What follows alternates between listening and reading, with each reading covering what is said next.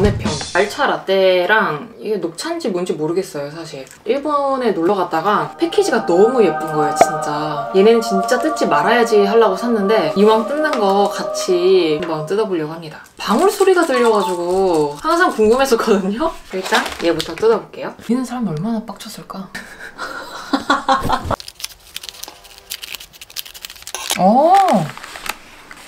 얘는 또 되게 이렇게 나눠서 아 말차 라떼 이렇게 들어있네. 오, 되게 괜찮은데 외포랑 되게 다른 느낌이네. 약간 얘네를 이제 디자인이 안 예뻐서 리뉴얼 시켜야겠다 싶어가지고 기존 제품 재고는 남기고 만든 느낌이랄까? 어 진짜. 오 이렇게 뜯어보길 잘했다. 얘, 얘 진짜 좀 궁금해요.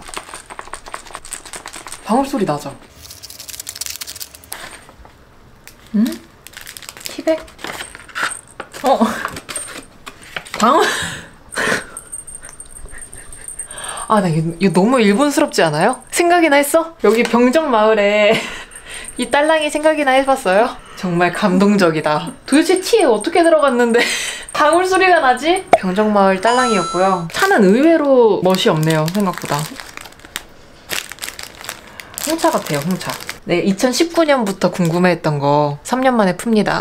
리얼 방울이었다. 우리는 이랬을 거 아니에요. 예를 들어 영국 컨셉이다. 우리도 막 병정을 넣었다. 하면 어, 병정 뭐 약간 이런 거 하면 재밌지 않을까요? 이렇게 아이디어를 낼 수도 있잖아요. 근데 거의 우리나라의 대부분은 끝에서 잘릴 거란 말이에요. 맞아 맞아. 그쵸? 근데 이걸 진짜 이렇게 재밌게 만, 네, 만들어낸 거 자체가. 그쵸. 그게 난 그게. 너무 대단한 것 같아요. 이런 패키지들에 되게 너무 예쁘잖아요. 그래서 이런 걸로 관광 상품이나 쉽게 살만한 접할 수 있게 만들고 싶어가지고 약간 이런 걸 되게 문의를 많이 해봤거든요. 근데 재질 느낌이 되게 특이해요, 얘네가. 뭔가 한지랑 종이랑 알루미늄 이렇게 증착이 되어 있는 이런 재질인데 우리나라에서는 약간 이런 재질 찾기가 힘들다고 하더라고요. 그리고 패키지 쪽에서도 그렇고 일본 쪽의 그 패키징이나 이런 산업 발달이 훨씬 잘 돼 있다고 하는 게 이런 이유인 것 같기도 해요.